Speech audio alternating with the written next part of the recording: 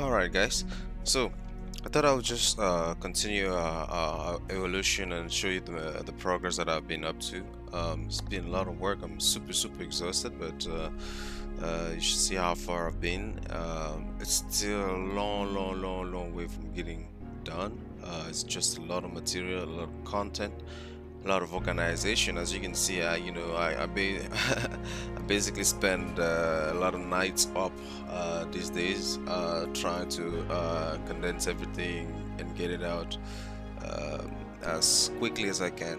So I'm just going to get you directly into um, the speed labs of uh, the elevation that I, I did this time around.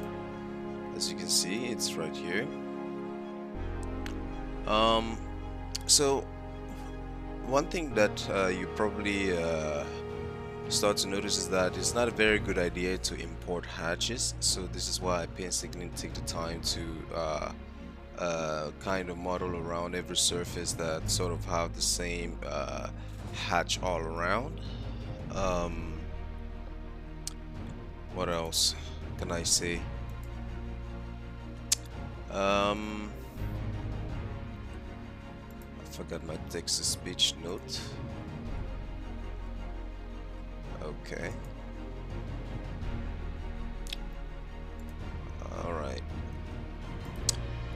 Um, so, but you'd start to notice at some point that uh, you begin to get a sense of uh, some of those things that can naturally import that you can try to pick uh, as a block, as a group. And so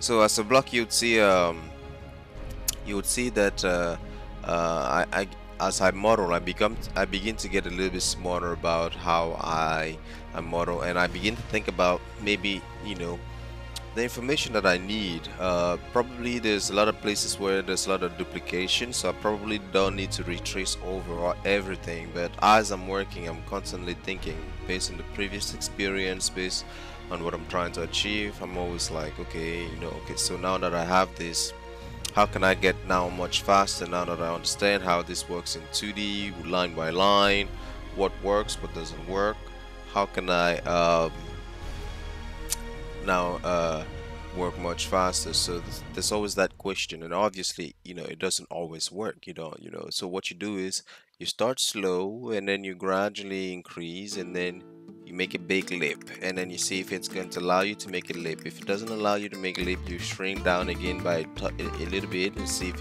if it still doesn't work you shrink down again and you gradually again and then you try another big lip. So that's basically how uh, I think of modeling. So here I'm basically trying to focus uh, myself on capturing every uh, piece of detail about um,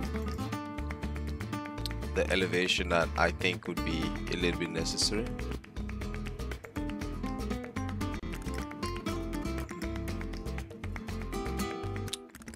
Okay.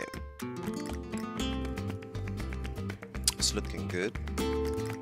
There isn't much to say at this point, except that it's, you know, it's the same uh, type of repetitive uh, work that I've been doing. Uh, you know just on an elevation so other CAD folks uh, people from 2D uh, you know drawing background can easily understand what this is you know what this is about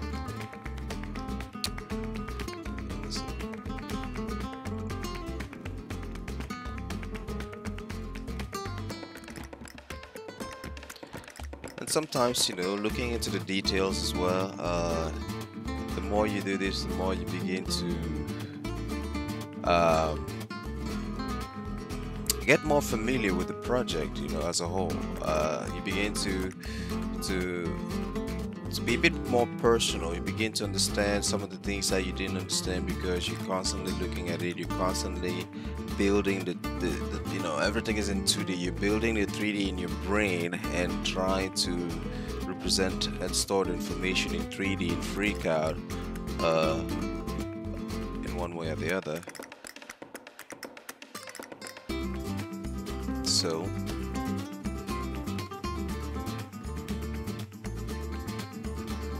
Now at this point there's a lot of information that still doesn't make a lot of sense until you really get into putting it all together. But you just want to get the main outlines. And you know at this point you know I just draw polylines all around. Polylines polylines uh, you know you know they are going to import as fill shapes. You know that's uh, that's a bit what I'm looking to get. But uh, you know it doesn't really matter so what I want to do is memorize the, the information in in 2D for import in FreeCAD so I can always reference it in FreeCAD if I did not have the immediate uh, uh, 2D work available in DWG or some sort.